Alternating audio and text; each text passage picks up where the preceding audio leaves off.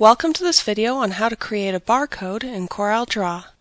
In this tutorial, we will show you how to create a standard UPC-A barcode. First, open CorelDRAW and the Welcome screen will appear. Select a new document and make sure that the color mode is set to CMYK.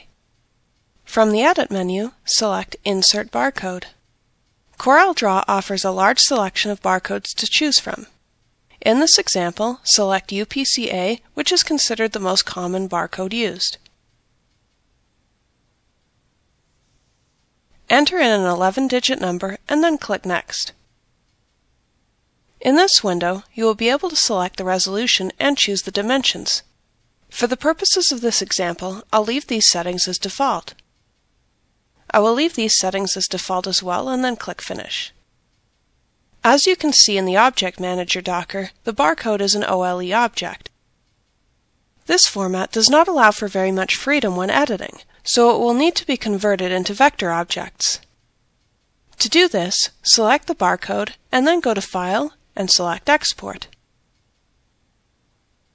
Put a checkmark in Selected Only, and then choose CMX as the export file type. If you have multiple CMX options to export, select the one from the top of the list.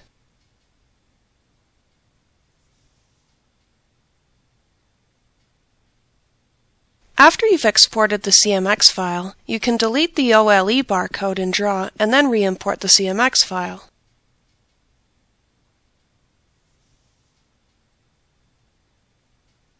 When you've re-imported the file, click on the very edge of the graphic and you will see the nodes appear on all four corners.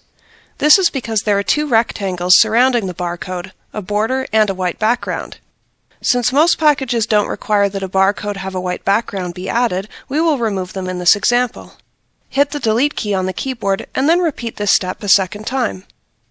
Since the standard color for all barcodes must be set to CMYK black, with the objects still selected, Left-click on the CMYK black color swatch in the color palette. At this point, the numbers are in the form of text and can be altered.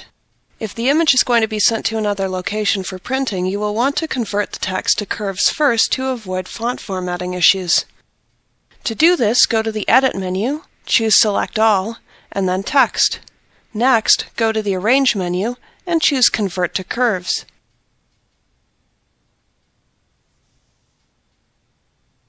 Drag a selection around the entire barcode, and then from the Arrange menu, select Group, or alternatively, you can use the key combination Control and the letter G on your keyboard. And now your barcode is ready to be saved, printed, or exported onto your project package design.